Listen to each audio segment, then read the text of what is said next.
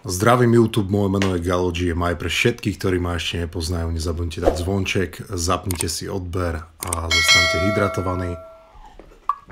Dámy a páni, bez ďalších kecov sa trochu porozprávame o bombách a atomových bombách a tak ďalej. Keďže ja na to nie som expert a ani som nemal uh, priestor kvôli práci si niečo extra pripraviť, budeme reagovať na človeka, ktorý je expert a začíname za 3, 2, 1, let's go.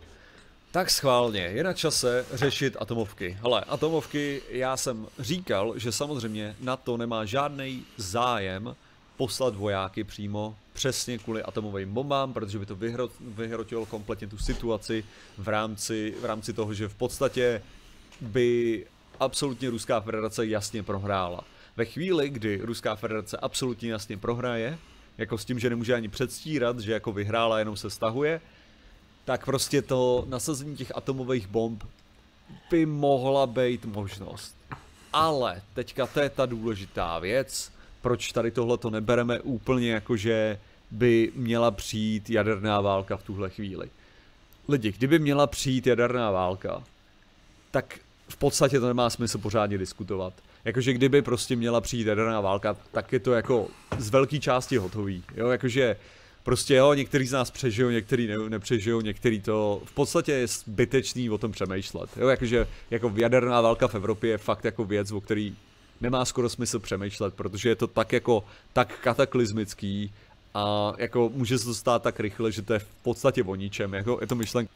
Co mi strašně blúbia tí Slováci teraz tie uh, memky, čo si chodia kupovať tie jódy, však keď vybuchne bomba, tak môžeš zožrať aj lentilky, aj jódy, to proste, tak ako hovorí chalan, že je to tak kataklizmické, že buď to padne a zomrieš, alebo to nepadne a nezomrieš. kterou můžete jako zahnat, protože ne. Když se to stane, tak je to vohovně. Když se to, když se to nestane, tak v podstatě jenom nad tím zabijeme čas. To je v podstatě celý, jo? takže jako asi tak bych to řekl. Co ale je o tom, je spíš jako kdyby teda vysvětlím vám, proč je to v podstatě strašně absurdní představa. Jo, ta, proč je to absurdní představa? Jakákoliv, já už jsem teda říkal, že není atomová bomba jako atomová bomba, ale každá atomová bomba je atomová bomba. A to je, to je hláška, kterou chci mít na rakev, protože napadla mě. A samozřejmě napadla určitě už i jiný lidi, ale v podstatě jde o tohle. A tady, tady jde o to, že bere se, že všechny různý, různý zbraně, které můžete používat, ať jsou příšerný a strašný, tak to nejsou atomové bomby. Jo. Atomová bomba je prostě speciální v tom, že má to, tu svojí, ten svůj strop, který má atomová bomba, je prostě až u tohoto stropu, který má 3,2 metru.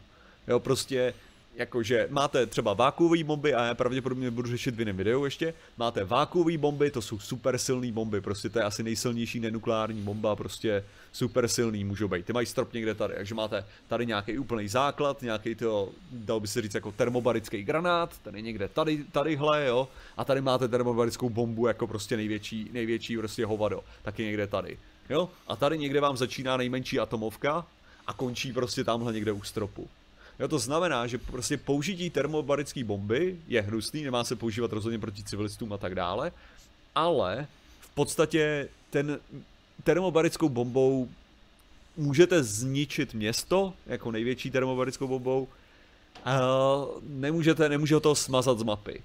Jo, největší atomovka může smazat z mapy město. Jakože absolutně to. To je velký, velký rozdíl v té síle. Což v podstatě znamená, Koukám, že Nuclear Secrecy je taky totálně jako v hajzlu momentálně, lidi se furt tam chodí koukat. Toto nuclearsecrecy.com je veľmi dobrá stránka, kde môžete aktuálne vidieť všetky boje, ktoré prebiehajú na Ukrajine a ako môžete vidieť, tu je aj Slovensko hneď vedľa, takže sa to dá celkom pekne trackovať, e, dobrá stránka. A to v podstatě znamená, že použití jakýkoliv té nejmenší atomové bomby a v podstatě vyprovokuje použití jakýkoliv větší atomové bomby. Vy byste mohli použít jako Rusové, protože Rusové rozhodně mají, Ruská federace rozhodně má k dispozici malý taktický atomové bomby, tak byste je mohli použít, ale v podstatě, jestli to je taktická atomová bomba, nebo jestli to strategická atomová bomba, je sice velký rozdíl, ale už je to atomová bomba. To znamená, že jste v podstatě řekli, atomové bomby jsou povolený v tomhle konfliktu. Uh-huh. Jo, jakože jakmile ji použijete, tak řeknete, jo, atomové bomby mají zelenou. Nehledě na to, jestli to malá atomová bomba, i když může ta atomová bomba být menší než jiná bomba, kterou byste použili do té doby. To znamená, že prostě její použití je samo o sobě tabu. Nebo si se pořádně použít nedá. Ale kdyby měli ji teda použít, kdyby ji teda měli použít, kam? A tohle je ta, ten velký problém. Jakože co s tím udělat? Jako na co ji použít? Jo, protože v podstatě Ako do Ukrajiny uh, by to veľký sens nedávalo, lebo keby to poslali na Kiev, tak uh, zabijú toho prezidenta. Ale ešte aj to, že vlastne celý ten konflikt je kvôli zemnému plynu, ktorý sa našiel na Ukrajine a pravdepodobne tam chcú Rusi riešiť nejaký biznis, na ktorý už by reálne nemali dosah, keby vstúpili do NATO, takže to je tiež jedna z vecí. Tady máte hromadu civilních cílů, a jako tam není žádný pořádný koncentrovaný vojenský cíl, na který to použít. Abyste měli aspoň jako důvod, že jste to použili na super vojenský, vojenský cíl. Přímo na Zelenského, dobře. Jako v první, v první řadě nechceš zabít prezidenta, jako fakt nechceš zabít prezidenta, který je takhle populární v tuhle chvíli. Jako po celém světě, ne, ne, ne, ne, ne. Nechceš v tuhle chvíli zabít prezidenta. Zmysl... Ako sranda na tom Zelenskom je to, že on hrál v nejakom seriáli a ukrajinskom prezidenta a bol tam populárny, na základe čoho potom dostal uh, tu priazen ľudí, založil si politickú stranu a ľudia ho následne zvolili za prezidenta. Myslím, že by byla strašná taktická chyba zabít prezidenta. Prostě ne, ne. Naopak, jestli něco, tak tím motivuješ lidi, aby bojovali ještě víc, jo? Protože ten prezident se může teoreticky vzdát v tuhle tu chvíli. Ten prezident může ustoupit. Když zabijete prezidenta, tak v podstatě z, těho, jste, jste z něho vytvořili prezidenta, který se nikdy nevzdal. A už se nikdy nemůže vzdát. To není, to není dobrá taktika. Takže v žádném případě to nechcete hodit do prostřed Kijeva. Jo, jakože z mnoha různých důvodů. Jako nechcete to kvůli tomu, že tam je hromada civilistů a bude to vypadat sakra blbě. Nechcete to kvůli tomu, že chcete následně vytvořit vládu, která je vám nakloněná. Jo, nemůžete vytvořit pořádně vládu, která je vám nakloněná, když parlament se vypařil. Jo, když prostě budovy veškerý politický byly vypařený atomovou bombou. To jako prostě není, to není dobrý. A tím nechci říct, že ty instituce, jakože musí být v té budově. Nejde o symbol té instituce. Ten symbol té instituce bohužel je vázaný na tu budovu, no nebo bohu díky vázaný na tu budovu. To znamená, že když vy to takhle zničíte, tak jako nastolení, to rovnou v tuhle chvíli můžete nastolit jako nastolit novou ukrajinskou vládu v Moskvě. Jo, a říct, my tady máme ty správný, tu, tu legitimní ukrajinskou vládu. Asi tolik takovou váhu by to mělo, kdybyste mm-hmm. zničili ty instituce. Když je zničíte, tak v podstatě nemají žádnou váhu, jako přestali existovat, podobně jako ten prezident. Jo, vy když, když zabijete tímhle tím způsobem toho prezidenta, tak už nemůžete dosadit žádného jiného prezidenta, protože tenhle ten prezident byl navždy vzvětšněn jako tohohle toho. A ty lidi budou bojovat za, za ten zbytek. To znamená, že už vy jste zničili tu instituci samotnou. Takže v tu chvíli, jakože nahradíte novým prezidentem, ne, tak to, v tu chvíli to nebude fungovat. Jako samozřejmě potom by si lidi mohli zvolit svého vlastního prezidenta, to už by bylo braný legitimně, ale z hlediska jako propagandy, z hlediska vnímání to tak nefunguje. Takže rozhodně to nemůžete hodit nikam na Ukrajinu v podstatě, protože nic nevyužijete, vy jako nezískáte nic, v této válce nezískáte nic atomovkou. Prostě vůbec nic nezískáte a navíc ta atomovka je to, čeho se bojí na to, že bude použitý ve chvíli, kdy použijete atomovku, tak jste v podstatě tu jedinou věc, který se momentálně na to bojí, je ta atomovka. Že by vyprovokovali k použití atomovky. Pokud ale už tu atomovku použijete, tak jako co, co to je za provokace? To už není žádná navíc provokace. Už jako oni nemůžou už víc vyprovokovat, když jediný, čeho se báli vyprovokovat použití atomové bomby. To znamená... Pravda. Já osobně si myslím, že keby uh, Ukrajine pomáhala aliancia, tak dávno, že Rusi sú všetci naspäť doma, lebo aj čo som videl tie zábery a tak, tak uh, také technológie z 18. storočia, aj Ukrajinci sa z toho smiali, že na akých tankoch to tí Rusi došli. Že v tu chvíli v podstatě dáváte zelenou, ať jako na to naběhne. Jo, jakože v tu, jako, jestli se už nebojíte použít atomovku, no tak to znamená, že říkáte na tu, jo, chceme, aby si na nás naběhlo. Jo, takže tu chvíli toto. Můžou jí použít víc. Jasně, můžou jí použít víc, ale to je ten problém. Protože tady jde o to, že ve chvíli, kdy hodí atomovku, nebo kdyby, kdyby hodili atomovku, hodíme to do tohoto scénáře. Takže Putin hodil atomovku. Na to to vnímá tak, OK, když je ochotný hodit jednu atomovku, je ochotný hodit všechny atomovky, to znamená, že nemá smysl čekat. Jo, protože nemá smysl čekat, kolik těch atomovek ještě hodí, tu chvíli je... Podle CNN ich je údajně 4500 těch jeho atomových zbraní. Nutný zasáhnout. Prostě, protože už nemůžeš riskovat, že nechat ho jen tak házet atomovky. Jako to už není, to už není ta možnost tu chvíli.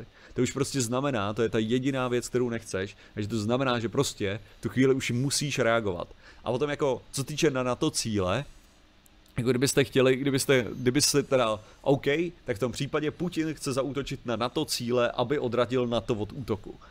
Takhle nefunguje NATO, to je první věc. To znamená, jako, že když zautočíte na NATO cíle, tak je neodradíte od útoku, je motivujete k útoku. A další věc, použít atomovky na jaký kam, jakože máte na to je v podstatě celá tahle ta část a jako kam chcete začít házet ty atomovky? Chcete jako vybombardovat každý velký město, každou velkou základnu, každý velký letiště, každý velký co, prostě jako tam je takových cílů, že v podstatě není, neexistuje jeden dobrý vojenský cíl, protože je tam 200 dobrých vojenských cílů, je tam moc vojenských cílů. A když máte moc vojenských cílů, tak v podstatě v tu chvíli jako pořádný ten zásah, když máte jenom jednu salvu, což je další věc, uh, tam oni mají jenom jednu salvu. Ono se sice říká, ano, mají 6000 6 tisíc jaderných, jaderných bomb, ale tohle je důležitý zase zdůraznit. To, že máte 6 tisíc jaderných bomb, to neznamená, že můžete vypustit 6 tisíc jaderných bomb. Jo, to znamená, že jich máte 6 tisíc na skladě. Jo, ale každá bomba potřebuje svoji raketu, nebo prostě balistickou střelu, nebo potřebuje letadlo, nebo potřebuje něco, prostě čím bude dopravená na to místo. Já jsem podal 4500, a on tvrdí, že 6000, no Nevím, doufám, že ani nezjistíme, jaká je pravda. A to nějakou dobu trvá. Takže když vy prostě vezmete třeba nějaký, já nevím, skat, prostě, který by byl k ničemu, protože dostřelí uh, tisíc kilometrů, ale kdybyste vzali nějaký takovýhle jako platformy, protože já taky samozřejmě neznám to, kdybyste vzali prostě, já říkám něco jako skat, já si nepamatuju, jak se jmenují ty ty, já si nepamatuju, uh, já si nepamatuju, jak se jmenují ty jiný odpalovače, ale prostě tyhle ty mobilní odpalovače, jo, když, to, když vezmete, uh-huh. tak v podstatě vy máte hodně těchto těch věcí, jo, vy máte hodně těchto těch věcí, vy máte málo těchto těch věcí. Jo, těch zase tolik není. Jo? To znamená, že vy je musíte, vy je musíte vytáhnout ze skladu, jako připravit, nahodit na tu hlavici, bla, bla, bla, odpálit a tak dále. Prostě zase, jednoduše, jednoduše je to voser a nemůžete odpálit ani náhodou 6000 atomovek najednou. A kdybyste odpálili 6000 atomovek najednou, tak je to průsera kráva. Jo, Topol M, jo, ok, dobrý, tak dáme vysoký jalovec, vysoký jako já. Jo, děkuju, ano, tohle to jsou, to, to jsou ty, to jsou ty větší, větší drsnoty. Jo, ale zase, všechno to se musí nabíjet. Jo, zase, tady máte silo, dobře, nějakou dobu trvá, než to, než to silo zase naplníte, aby bylo schopný střílet. Jo, tohle není, uh, tohle není prostě sranda. To znamená, že uh, to znamená, že prostě to házet jako nejsou schopní vypustit všechno a i kdyby to vypustili, tak je to v podstatě jenom jako dobrý důvod dostat zpátky salvu. Jo, jakože, když jich, když jich uděláte, uh, to víš, nebo se jen domníváš. Ne, to je, to je prostě vyloženě, vyloženě, když se koukneš na počet atomových bomb, když se koukneš na počet atomových bomb a počet odpalovačů atomových bomb, tak prostě jich nemáš dost a je to tak dělaný. Je to tak dělaný, že prostě uh-huh. obecně je víc atomových bomb v záloze, než kolik jich je prostě připravených odpalů. Mít je, takhle, mít atomový bomby připravený k odpalu je fakt drahý. Jo, ten... Dámy a páni, kľudne napíšte aj vy do komentu, že čo si myslíte, že či Rusi budú hádzať atomové bomby alebo nie. Uvidíme. Další věc, jo. Fakt je to drahý. Fakt je drahý mít atomový bomby připravený k odpalu. To znamená, že jich při, připravených k odpalu relativně málo. Jo, prostě především ponorky, ty jsou v nejlepším stavu jako na odpalování těch raket. Jinak je jich fakt jako připravených žalostně málo. Ale ta další, ta další věc, i kdyby to teda jako udělali ten útok, tak v podstatě, když bude moc malý ten útok, když bude moc malý ten útok, tak uh, akorát budu zašlapaný do země, když bude moc velký, tak budu zašlapaný do země. V podstatě každý scénář s odpálením atomové bomby vždycky vede k tomu, že budu zašlapaný do země. Jo, to znamená, že jenom v tu chvíli už si jako zvolíte, že prostě fakt to chcete pořádně rozjet. Já vím, že prostě jako Putin se chová totálně iracionálně, ale mám pocit, že je to šíleně...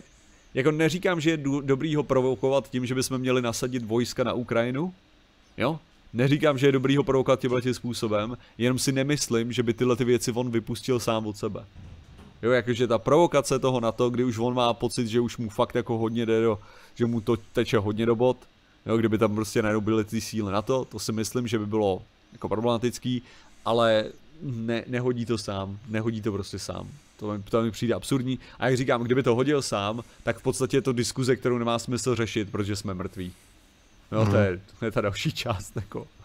Takže asi tak, jo, jakože prostě někteří z nás jsou mrtví, někteří z nás jsou živí. Každopádně myslím si, že splníme ty, že bychom splnili emisní, emisní, uh, emisní plány na rok 2050.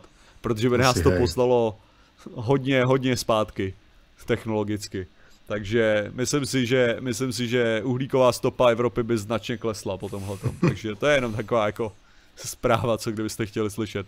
Aspoň nějakou Dámy a páni, to je všetko z dnešnej epizódy. Každopádne nezabúdajte, že bohužiaľ vo svete nie je dosť peňazí na to, aby sme vyriešili chudobu, ale je dosť peňazí na to, aby boli vojny. Je to smutné, ale bohužiaľ je to tak. Každopádne zostaňte zdraví a zostaňte hydratovaní a nezabudnite dať odber a zvonček.